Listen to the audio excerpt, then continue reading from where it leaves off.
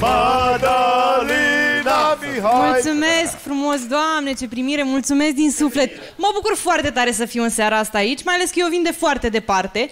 Eu vin din Banat. Ați auzit de expresia Banatului Fruncea? Prin Am aplauze? auzit, da. Păi înseamnă că știți deja tot ce e de știu despre noi. Adică, de ce să te dai bătut dacă poți să te dai mare? Cam ăsta e principiul pe care mergem noi. Părinții mei, ca să înțelegeți, când eram mică, erau atât de mândri de faptul că suntem bănățeni, că au ținut să-mi repete chestia asta, că banatul fruncea, încă de când eram foarte mică. De dinainte să-mi explice lucruri esențiale, ca de exemplu cum se folosește o furculiță. Instrucțiune de care s-a dovedit că aș fi avut nevoie în momentul în care am băgat-o în priză la 3 ani. Ok. Nu cred. Dar ce mă deranjează pe mine cel mai tare e faptul că, sincer, acum na, fie vorba între noi, mi se pare că noi bănățenii suntem mândri pe burta goală. Adică, în afară de niște interpreți de muzică populară de care, na, cu noi, noi ne mândrim cu ei, că ei sunt fala noastră, noi așa spunem, fala noastră, dar pe care nu fală nimeni. Nu avem artiști cunoscuți în Banat. Știți care e cel mai popular artist din Banat? Uh, Carmen Șerban. Nu. Și nici Dan Negru. Bă, Și nici dar nec. George Hora. Și Camelia, ia, ia. Cristi, Cristi din, din Banat. Știam. Asta e. Știam. Ăla, cu ca o apă, ăsta e, ăsta e Care cu standard. ce? Ca o apă cristal. Ca Ca o o apă cri- apă cristal. Mulțumesc. O, ferească Mulțumesc. Dumnezeu, da. Da. Da, știi, e, a fost viral. Dacă știam chiar și de simplu să fii popular, mă prezentam și eu direct, ca Mădălina de la Lipova, că poate mă ajuta. De la Lipova? Da, nu mă, da, de la Lipova. De la Lipova, județul Arad, dar în Banat. Da, și uh, eu m-am gândit la un moment dat când o să mă fac eu mare, poate chiar cu numele ăsta de Mădălina de la Lipova, m-am gândit să fac o campanie de promovare a Banatului, care să se numească, atenție, că am Ia. investit mult efort în asta, Ia. să se numească Banat. Why not? Bun, foarte bun. Foarte Mulțumesc! Bun. Băi, Mulțumesc. ești... Bă, bă, îți foarte face bun. concurență la Da, alea de da, descris. faci- e bun. Mulțumesc Banat, why din not? suflet! Chintesența banatului este mândria. Și revenind la asta, Atât aveți. Zic why not? Aplauze, am Băi, încurajat-o. personal, Am el- încurajat păi, tocmai, aplauze. păi tocmai asta am zis, că suntem mândri pe Păi Știu, dar burta repet după tine, goală. vrei să pap- să papagalul tău. Hai, mă, che... Hai mă, fată, nu te spăra pe mine că mă... Dar nu mă supăr, Doamne ferește, nu Te suntem rog. supărăcioși, suntem mândri, adică e o diferență. Așa. Și în sensul ăsta, pentru că vreau să fac banatul mare, Da. Am făcut ce face orice bănățean dedicat Doamna visului concurent, său. Chelu Da. nu mă lasă în pace. Eu nu pot să mă concentrez la dumneavoastră Băi, Chelu, în condițiile stai- astea. stai Băi, Chelu, nu te arată. Da, eu nu mă înțeleg cu el. Efectiv, bune. mă bate pe umăr și îmi spune lucruri. Avem vreo doamnă profesoară pe aici să-l pună pe chel în banca lui? E prima oară când faci asta în 16 sezoane.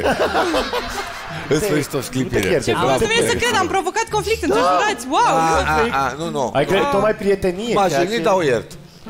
Deci, îmi doresc să fac banatul popular, asta e ceea ce îmi doresc eu să Da. fac. Și în sensul ăsta am făcut ce face orice bănățean dedicat visului său, și anume, m-am mutat la București.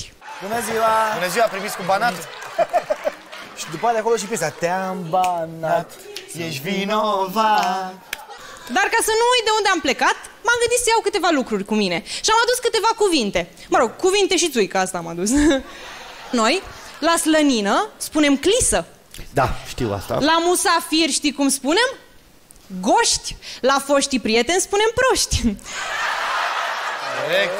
Și apropo de asta, un prost de-ai mei era cu 4 ani mai mic decât mine, cu 4 ani. 4 ani, dacă eu am 22 de ani și el 18, e un pic o problemă, dar na, ce să faci, era pandemie. Bărbații buni erau ca hârtia igienică, puși bine deoparte. În brațele iubirii. Bun, bravo. Bun, tată Și dată fiind diferența asta de vârstă dintre noi, ce mă fascina pe mine cel mai tare la fostul meu, la prostul meu, Fostul prost? fostul prost, erau referințele lui. Și cea mai nașpa parte era că... că de fiecare dată când făceam sex... și... Na, termina. Mă rog, el la vârsta lui mai mult se scăpa pe el decât termina, dar în fine... Hai, nu fi răutăcioasă acum.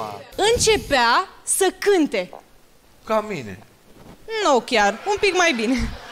Sos în cantități industriale, sos, asta făcea el. Și prima dată nu i-am zis nimic, dar la un moment dat l-am întrebat, auzi, nu te supăra, de unde? Și mi-a zis, cum nu știi? Five Gang. Și am zis, nu vrei să începem mai bine cu Three Gang? Vremuri moderne. El nu s-a prins, așa că a fost mai bine că ne-am despărțit. A făcut scâr și a plecat. da. Dar ce m-a deranjat cel mai tare a fost faptul că după ce ne-am despărțit, a pus pe Instagram o poză cu cum ar veni viitoarea lui proastă și a pus la descriere Iubirea ta e terapie. Băi, ești nebun? Și eu când îi spuneam că are nevoie de psiholog eram nebună. Dar nu asta m-a deranjat cel mai tare. Cel mai tare m-a deranjat că eu nu știam că cea mai bună prietena mea se făcuse și psiholog. Și na, din, uh, din pricina asta m-am, m-am hotărât să am ceva ce am numit în limbaj comun, uh, nu știu, standarde. Așa că mă bucur că în sfârșit pot să mă mândresc cu faptul că trăiesc cu un bărbat adevărat. Un bărbat de 35 de ani care stă cu măsa. Bravo! Yeah! Așa! Bravo! Bravo! Dar e un bărbat adevărat și cum știu chestia asta, care referințe adevărate de bărbat adevărat. Adică din fotbal. Avem și un joc foarte drăguț, de fiecare dată când mă dezbrac, el strigă Bine! Se dezbracă și el și eu strig Gol!